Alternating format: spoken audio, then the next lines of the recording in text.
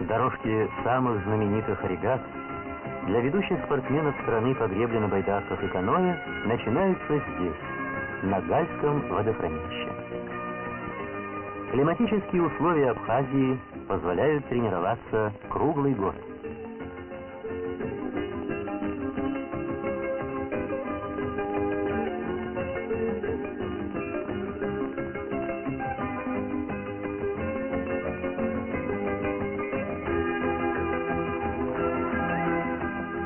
Специальные упражнения вне лодки и на открытой воде являются основными средствами подготовки гребца.